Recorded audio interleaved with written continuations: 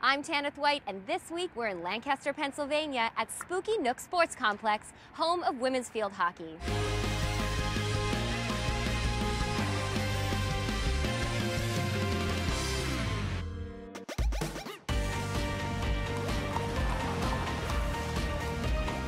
They call this the home of hockey, and that's really what it is. This is where we have our younger fans, um, and this is where we come every day and get to train. Can you explain how being here at Spooky Nook has really helped develop the team and what it's added to your training? There are so many great things about this facility that are truly world class, and we're so lucky that they've been so accommodating with us. I mean, if you just even look at this gym that we have completely to ourselves, locker room facility, training rooms, um, two turf fields one in a dome, which I think is only one of two in the entire world that has a water-based pitch.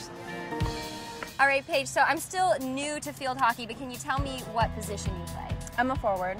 Does your competitive nature lend itself to kind of that attack position?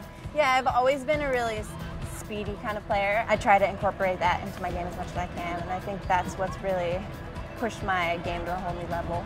You're from Pennsylvania. How yeah. nice was it for you to come back home and make this your training base? I mean, Pennsylvania's always been a really big hotbed for field hockey, so I think it's really important that we are on the East Coast, just because it's a lot easier for young girls to come in and train with us. Today, actually, we are, I believe, 400 days exactly away from Rio. What are your goals for your team? I think the first goal, obviously, is to absolutely ensure qualification. We travel to Toronto for the Pan Am Games, and our aim is to go and win that tournament and qualify by right. But um, trying to make sure that the final part of the approach is smooth, is you know hurdle free, and we have a clear run at it, um, and we control the environment. And, and when we do that, we know good things happen. United three, one, two, three! United!